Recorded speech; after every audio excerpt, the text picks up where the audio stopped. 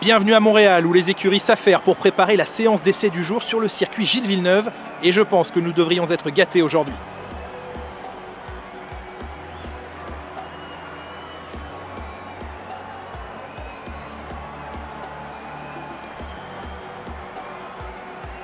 C'est en 1999 que le mur extérieur dans le dernier virage du circuit a interrompu la course de trois champions du monde, Damon Hill, Michael Schumacher et Jacques Villeneuve.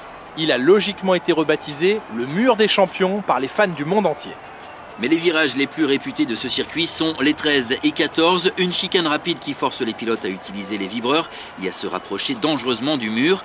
Rouler sur ces vibreurs trop vite peut signifier l'arrêt de la course et vous verrez de nombreux pilotes faire des erreurs en s'engageant dans le virage 13, puis court-circuiter la chicane pour ne pas heurter le mur.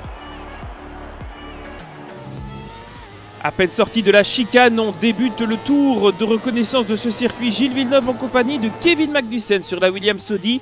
On attaque tout de suite euh, ce tour avec euh, les enchaînements des virages 1, 2 et 3 qui sont assez serrés. Ici, euh, les murs sont proches et ce sera le cas à peu près tout le long du circuit.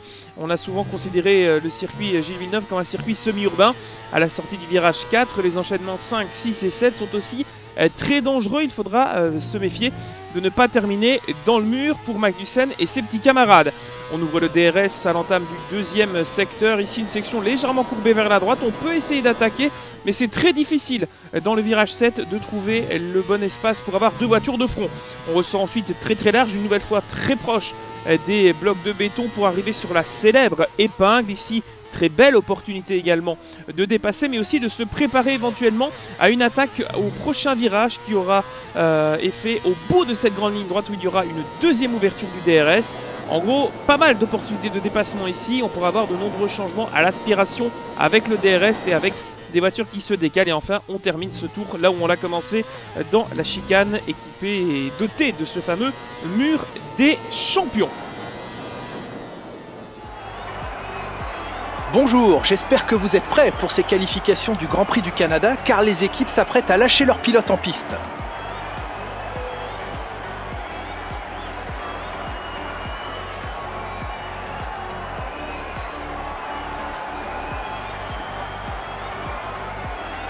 Quand on vise le chrono, on privilégie généralement les accélérations et les vitesses de pointe. Du coup, faut-il seulement limiter l'appui aérodynamique au maximum et soigner ses virages pour ensuite foncer dans les lignes droites? La vitesse de pointe sera l'objectif principal de tous les pilotes ici. En supposant que leur monoplace soit capable de tenir la route sur le reste du circuit, ils pourront gagner du temps dans les lignes droites. Il sera difficile pour les véhicules les plus lents de trouver des occasions de dépasser leurs concurrents. Allez, on entame la qualif. Alors qu'il y a drapeau jaune là dans le dernier partiel. Ça semble être relevé. Il y a peut-être eu un souci pour une monoplace? On entre dans la première épingle. Vraiment un circuit que j'aime beaucoup.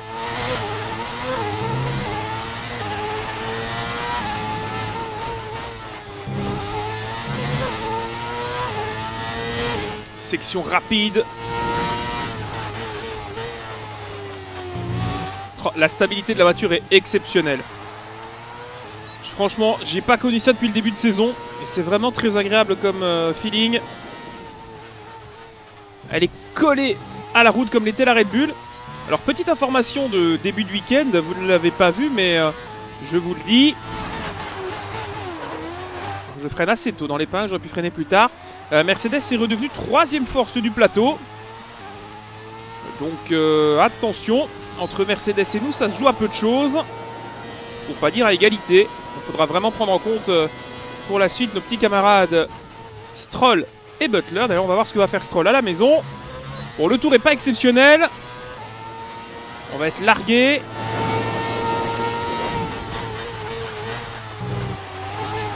On va enchaîner avec un deuxième tour tant que les pneus sont chauds.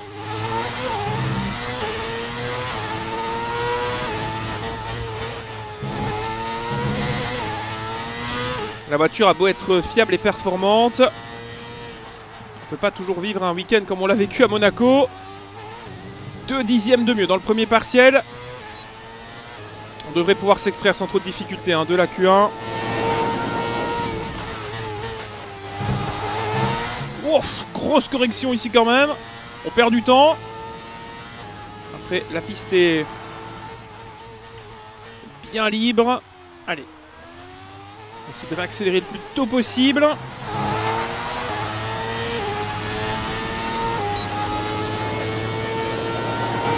deux partiels dans le vert, mais pas dans le mauve.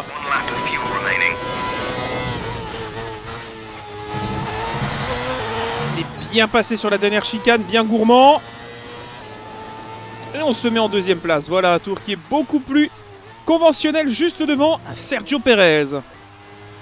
Si on jette un coup d'œil aux résultats de la première séance qualificative de ce week-end de Canadiens, on découvre que les deux Audi se retrouvent dans le top 3 avec euh, très peu d'écart, ce qui signifie qu'on tire bien le maximum de la monoplace. Derrière, Butler n'est pas loin. On a une euh, distance importante avec Stroll qui est le dernier qualifié in extremis. L'Alpha de Lucas Weber qui avait provoqué le drapeau jaune il y a quelques minutes termine 15e. In extremis également euh, qualifié Stroll puisqu'avec Weber ils ont le même écart en termes de temps, 0,8 euh, de, retard.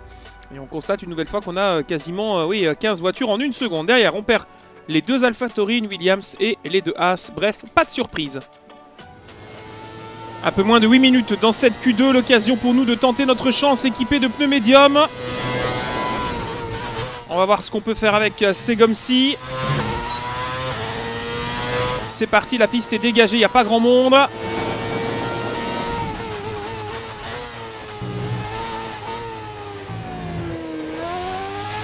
Bonne entame de tour, la voiture qui a plus de grip, hein, on la connaît bien plus à l'aise avec les, les médiums.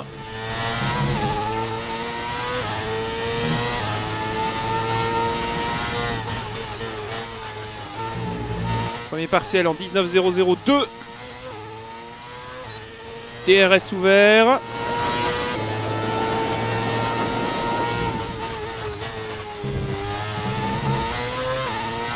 Ah, ce serait la deuxième fois consécutive qu'on parviendrait à s'extraire de la Q2 avec euh, des médiums.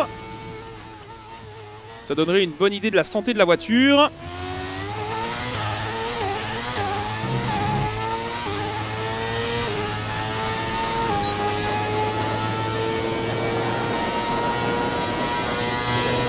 Va-t-on parvenir à se mettre dans le top 10 Je suis en train de broyer la boîte, qui est neuve d'ailleurs. Après 6 euh, grands prix, on l'a changé.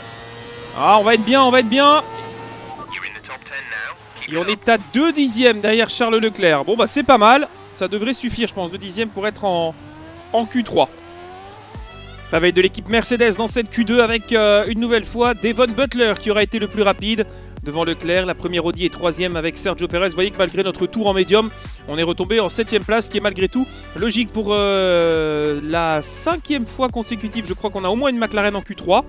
On a ensuite Magnussen qui vient surprendre avec la Williams, son père Raikkonen in extremis malheureusement, et Valtteri Bottas, leader du championnat, une deuxième fois éliminé en Q2. Ça commence à faire beaucoup pour le Finlandais. Moment important qui peut confirmer la bonne forme de la voiture.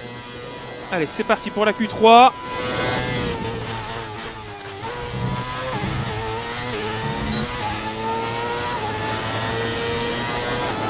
On débute notre tour.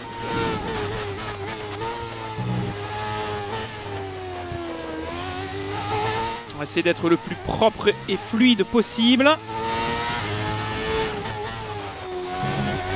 Ouf, on a dû soulager, hein, vous l'avez senti. Sinon, je partais directement dans le rail.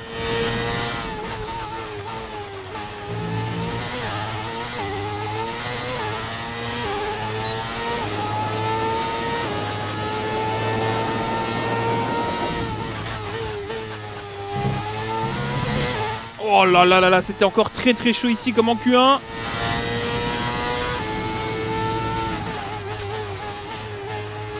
Pour l'instant, j'ai pu prendre l'ombre comme référence, mais il faudra que je me réfère à la différence de revêtement.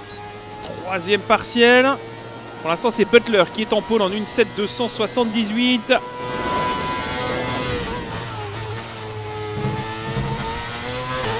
Alors, qu'est-ce que cela va donner?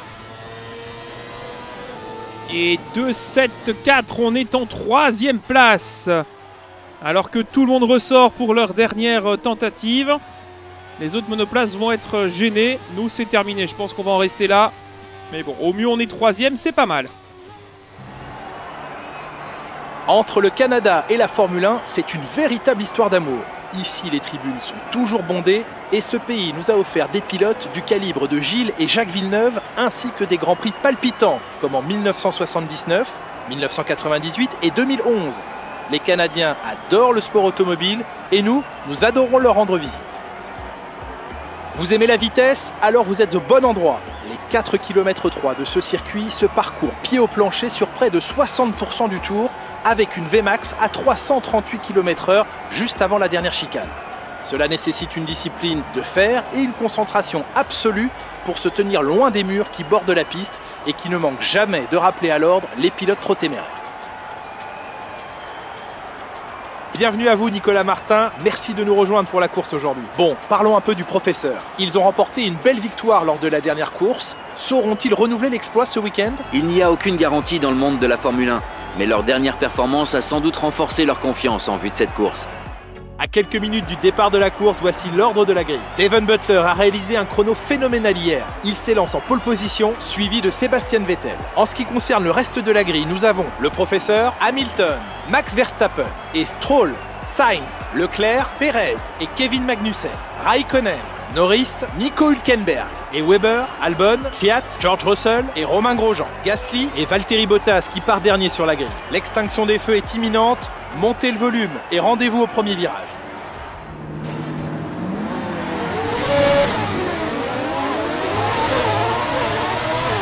We're not seeing any technical issues coming off the practice start. Watch the RPM on the full start. We don't want to bog down. Temps nuageux au-dessus du circuit, Gilles Villeneuve, ça devrait euh, être difficile de tenir le rythme des autres voitures avec les pneus médiums, euh, mais on a une stratégie qui peut fonctionner. Sur l'ensemble de la course, cela peut redistribuer les cartes. On sait qu'ici, la safety car peut sortir, peut-être pas autant qu'à Monaco, mais euh, ce n'est pas impossible. Les deux Renault qui s'étaient fait, piéger hein, du côté de Sainte-Dévote lors de la dernière course ici sont de nouveau très lointainement placés sur la grille. Bottas également, lui il a vraiment pas de chance, encore 10 places de pénalité. C'est lui qui a dû récupérer le châssis d'Hamilton de l'année passée parce que il n'a absolument rien qui va depuis ces deux victoires. Bon, devant, on a peut-être enfin une nouvelle victoire pour Mercedes, hein, puisque c'est vraiment l'année de la renaissance. Je le disais, euh, rappelez-vous, pendant la vidéo de présentation des essais hivernaux, mais euh, je savais pas que ça allait être à ce point-là. En tout cas, Mercedes, Ferrari sont aux avant-postes. Red Bull est un outsider. Peut-être Cody va pouvoir aussi avoir son mot à dire. En tout cas, on a hâte de voir euh, les premiers kilomètres de course ici parce que ça s'annonce tout aussi animé. Puisque, euh, ouais, c'est vrai qu'il faut dire que depuis le début de la saison, on a eu des grands prix qui étaient particulièrement animés, si ce n'est mouvementés. Derrière, eh bien, les Audi vont tenter de remonter, surtout Perez qui est un peu plus loin. Euh, la McLaren euh, la mieux placée derrière est celle de Sainz qui est en Q3. Norris est un peu en retrait, les Alpha n'ont pas eu de chance. Magnussen est aussi bien placé dans le top 10, donc Williams pourrait de nouveau marquer des points. Pas mal de questions auxquelles on aura les réponses d'ici l'arrivée de ce Grand Prix. En tout cas, j'ai vraiment hâte de le disputer parce que j'aime beaucoup ce tracé, la voiture fonctionne bien et on pourra avoir de grands moments, je pense. The rest of the grid is forming. Be patient and watch for the lights.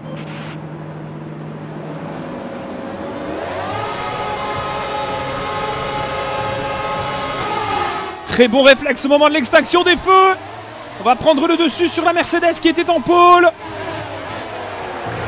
Oh qu'on s'est bien élancé. Très très beau réflexe au moment du départ. Alors faut réussir à prendre le dessus sur Butler qui s'est fait enfermer par la Ferrari. Et ça va passer. L'Audi est deuxième. Très très beau départ. Ah c'est un réflexe incroyable. J'ai cru à, la pénalité de Jumpstart, mais il n'en est rien. Bon, du coup, on va pouvoir attaquer maintenant. Attention quand même, un drapeau jaune derrière. Pas ce qui s'est passé. C'est terminé pour Magnussen, c'est dommage, il était dans le top 10, le Danois. Et il y a déjà le premier abandon. Qu'il a dit bon départ, Jeff à la radio. Je vais parler en même temps. Bon, du coup, Bottas qui commence à remonter les As, ça il faudra le surveiller bien sûr. Et nous en médium, il faudra aussi surveiller notre rythme par rapport euh, à Vettel et aux autres. On chauffe un peu les gommes. Et premier tour couvert en tête par Sébastien Vettel, leader de cette course. On est deuxième, troisième Butler, quatrième semble-t-il. Euh, on retrouve Max Verstappen. Un Butler qui s'est complètement trouvé au moment du départ. Il y en a le meilleur dernier partiel d'ailleurs. ça fait toujours plaisir à prendre. Alors maintenant il faut garder le rythme. Malgré les médiums. Alors les temps ne s'usent pas trop. hein. Je pense qu'ils vont avoir euh, facilement 7 ou 8 tours de vie.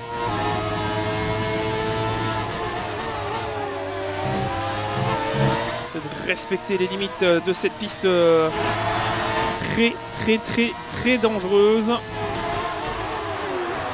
Alors qu'on a fait le meilleur premier partiel il y a quelques instants. Faut dire on tape aussi un petit peu dans les ressources de la voiture.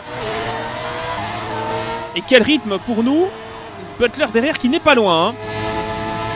Et la Mercedes qui va profiter de l'aspiration. Et son moteur va peut-être faire la différence. Et on n'y va pas sur cette chicane. Butler qui la joue très très safe. Ah oui, il y a un championnat à jouer peut-être pour euh, le Britannique. Meilleur tour pour Vettel.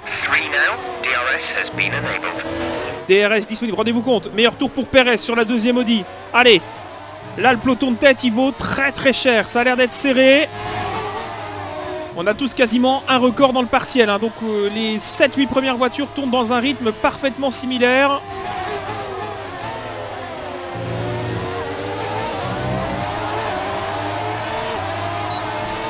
DRS sur la Ferrari. Butler l'obtient également. Donc euh, ça se joue devant et derrière. Alors il y a un petit trou dans la tribune en face, j'ai chaque fois l'impression qu'il y a un drapeau jaune, mais non. C'est assez perturbant. J'ai un clignement dans, ma ligne de mire, chaque fois j'y prête attention. La Butler il va être dangereux. Si j'ai de quoi me défendre, ça devrait m'aider. Parce que là Devon va être très très rapide au bout de ligne droite. Heureusement que nous avons nous aussi des artifices pour nous défendre. Vous avez un point sur l'état de l'usure mécanique de la voiture. Okay, you're in the top 10. Okay, some information on Perez. Ah, peut-être un problème sur la voiture de Sergio. Aïe aïe aïe, peut-être le premier bris mécanique euh, d'une Audi cette année. On va surveiller euh, ça, alors qu'il y a une Renault qui est également bien ralentie derrière, en tout cas qui euh, coupe le peloton en deux.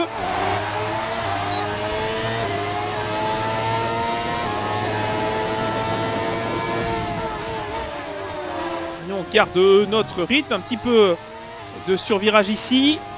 Attention, Vettel qui commence à filer avec les pneus tendres qui fonctionnent mieux. Moins pour le moment. Oui, on a du sous-virage avec les médiums. On frôle le mur. Là, Butler va avoir une bonne chance de nous dépasser, je crois.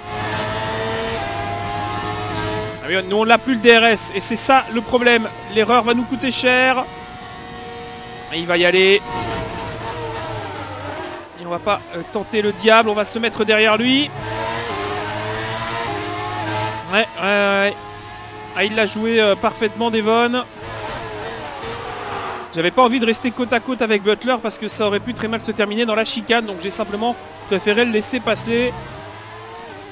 Maintenant, on va pouvoir se battre à d'autres endroits du circuit.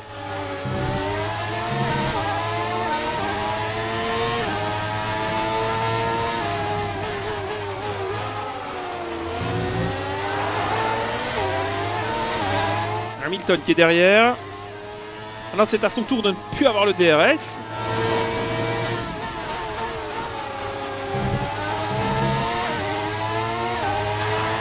20% d'électronique usée, 35 sur le moteur à combustion interne, ça commence à s'user tout ça.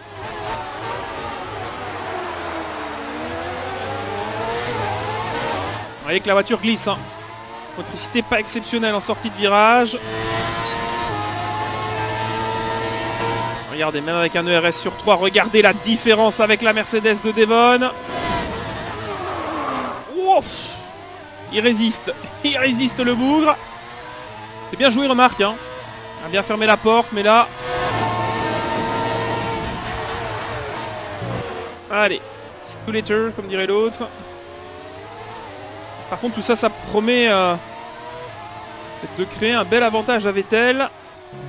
Qui se dit, bah, qui se battent derrière, moi, je file, personne s'occupe de moi. Et il a raison.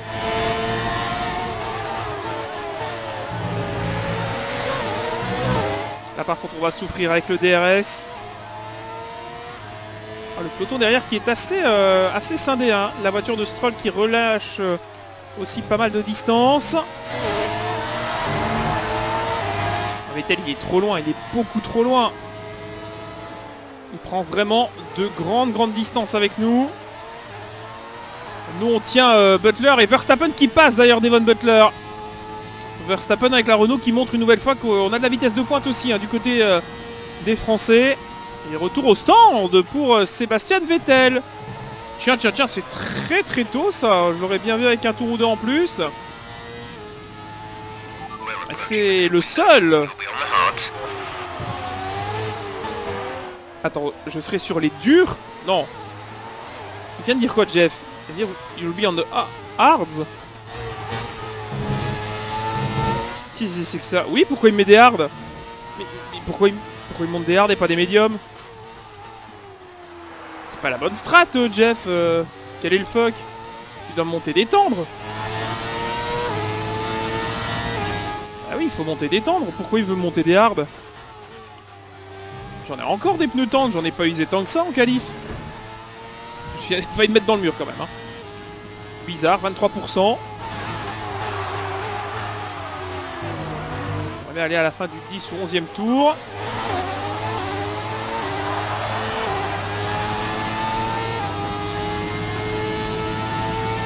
Roger that. Soft tyres at the next pit stop. Verstappen qui est derrière. On est rentré, euh, je ne l'ai pas dit non plus, mais euh, on est rentré à mon avis pour Mercedes. Non, non, il n'était pas rentré, donc il a vraiment perdu deux places à la régulière. euh, Butler. A new strategy is available on the MFD.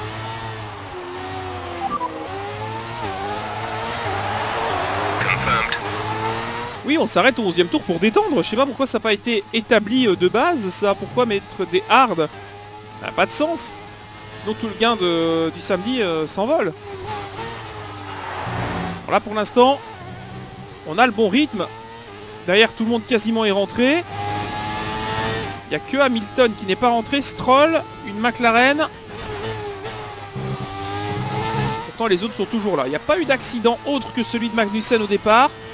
Une course calme pour le moment. Alors que je viens de me rendre compte à quel point j'ai détruit mon ERS. J'ai pas fait gaffe.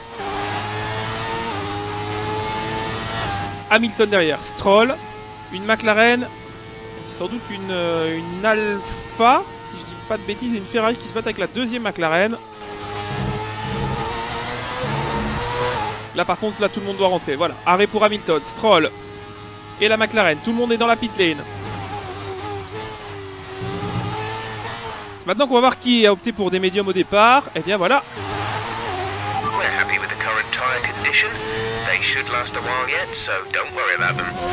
Ok, pas de stress au niveau des gommes pour l'instant. Alors que le ciel s'assombrit. Il n'y a pas de risque de pluie, je vous rassure. En tout cas, s'il tombe des gouttes, c'est vraiment qu'ils se sont perdus en chemin. Les nuages, mais sinon... Voilà, mon ERS qui reprend un petit peu euh, de la vie. Meilleure tête que tout à l'heure. Bon, pour l'instant... Oh. Oh, Hamilton qui est hors course Oh là là là là, ça c'est un désastre pour Red Bull. La mieux placée des deux voitures puisque Bottas était parti dernier. Eh bien, finalement, on nous avait critiqué d'être parti pour certains. Je pense qu'on a laissé la maison en bon état, mais que là, le ménage n'a pas été fait depuis un bout de temps. Et du coup, les cylindres sont crasses du côté de chez Honda. Ah ouais, toujours arrêté Hamilton, sans doute euh, problème euh, moteur. Notre fenêtre d'arrêt au stand. Oh, il y a des morceaux de débris aussi hein, dans le premier virage. Est-ce que c'est Hamilton? Drapeau jaune, non, la voiture qui s'est arrêtée suite à un souci mécanique. Il n'y a pas l'air d'avoir de dégâts sur la voiture d'Hamilton. On confirme notre stratégie avec un arrêt à la fin euh, de ce tour. Vettel qui n'est pas loin derrière, qui passe à son tour devant Hamilton. La voiture n'a toujours pas été dégagée, hein, ça y est. C'est clear dans le troisième virage, mais euh, on a mis du temps. Hein. Côté des commissaires, mais, mais c'est Bottas qui vient de faire le meilleur temps là. Mais c'est pas possible. Ouais, Valtteri Bottas qui vient de nous signer euh, le meilleur tour en course avec euh, la seule Red Bull en piste. Mais on est prêt à tout pour me piquer un point. Je sais pas si je l'avais le meilleur tour, je pense pas. J'étais pas sûr, je crois que c'était euh, Butler qui l'avait. Allez, on confirme qu'on rentre à la fin de ce tour. Et on confirme surtout qu'en sortant, on va bombarder pour récupérer notre meilleur tour. Attention, il faut respecter le 60, non, 80 km/h. Je pense qu'on l'a respecté, pas de pénalité, mais euh, le, le- le signal est devenu vert, rouge, vert. Donc euh, c'était limite. Ça devrait passer. Allez, messieurs, des pneus tendres. Très bon arrêt, 2 secondes. On fera pas mieux. hein. Les meilleurs euh, pit stops, c'est chez Red Bull. Vettel a repris la tête de son Grand Prix du Canada.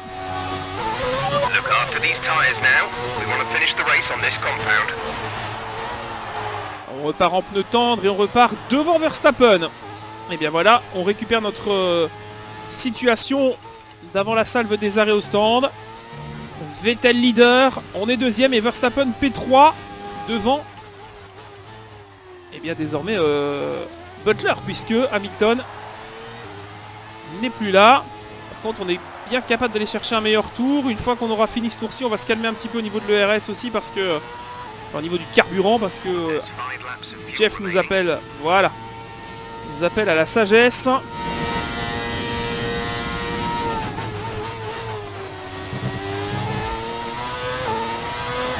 Est-ce qu'on va le reprendre ce meilleur tour à, à Lucas? Non.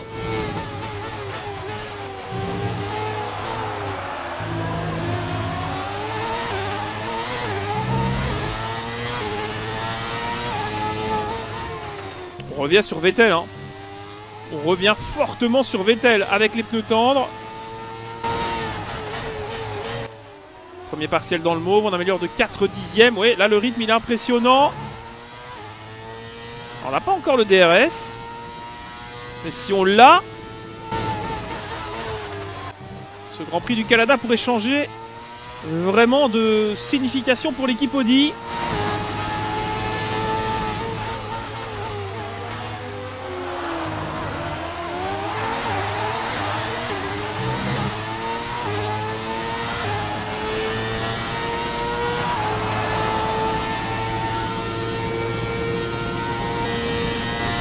Ouais, c'est sûr que là,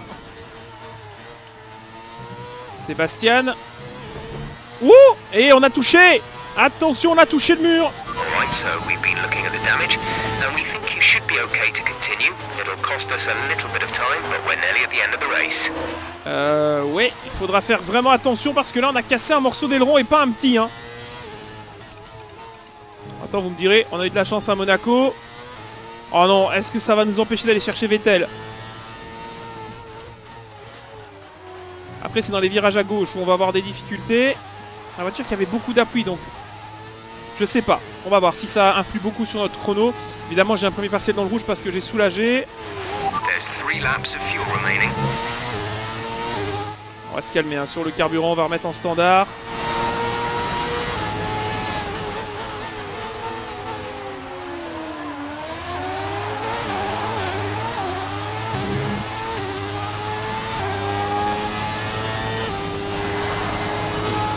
Ouais, écoutez, euh, je suis assez perplexe euh, sur le rythme dans le rouge. Parce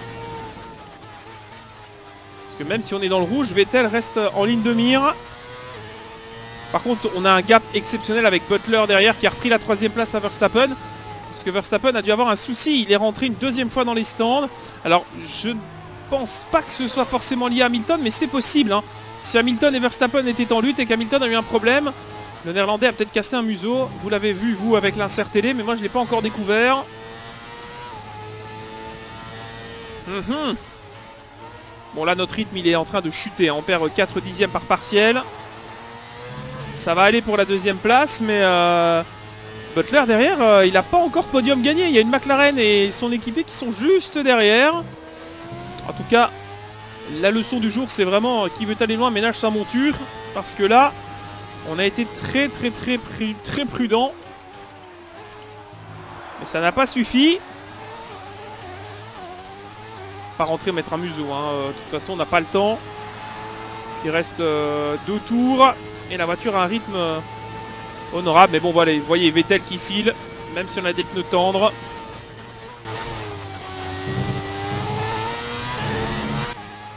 Ah, on a touché le mur des champions. On n'a pas fini dedans, mais on l'a touché.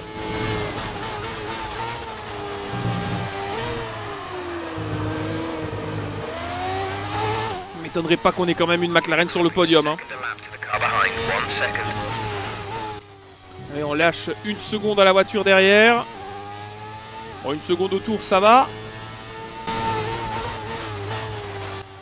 En tout cas, belle démonstration de la Scuderia hein, qui euh, a montré qu'elle était vraiment une équipe euh, qui savait euh, renaître de ses cendres. Et Verstappen, tiens, et oui Ah, Voilà, ça confirme euh, ce que l'on croit. Verstappen avec des tendres en toute fin de séance qui va prendre le meilleur tour mais qui ne vaudra rien puisqu'il est en dehors du top 10. Il est bien en dehors d'ailleurs du top 10. Il est 17ème notre ami Max. Super Max mais qui est aujourd'hui va encore payer très cher euh, les approximations de son équipe.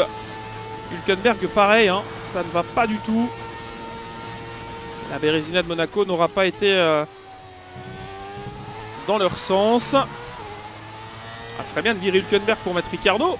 Il mériterait de revenir depuis le temps qu'il nous manque, Daniel. Fuel remaining. The gap to the car behind is 6.0 seconds.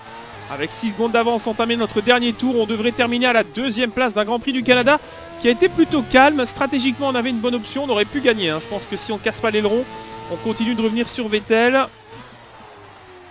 En tout cas, on va pas se plaindre d'une deuxième place. Et Verstappen qui continue. Hein. 1-8, 491 jusqu'au bout. Mais c'est trop tard, Max. Le sort de ce Grand Prix du Canada est scellé. C'est Vettel qui va s'imposer. On sera deuxième maintenant. Et derrière, il n'est pas impossible qu'une McLaren vienne surprendre tout le monde.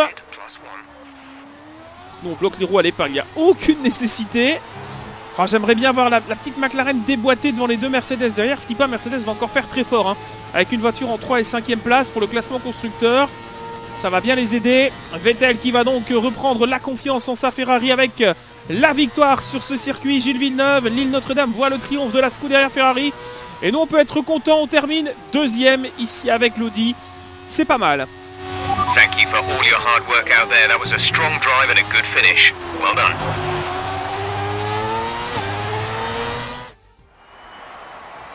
Ferrari a vraiment tiré son épingle du jeu aujourd'hui. Magnifique victoire.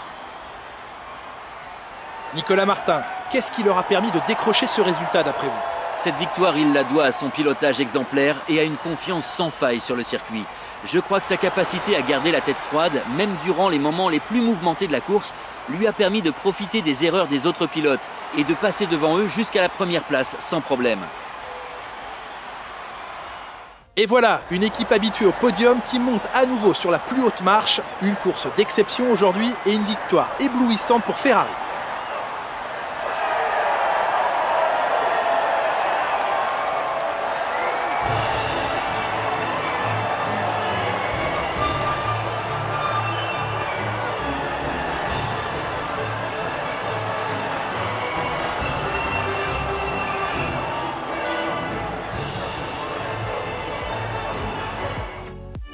Les résultats d'une course euh, plutôt calme et maîtrisée de notre côté, hormis le petit à-coup avec euh, le mur des champions.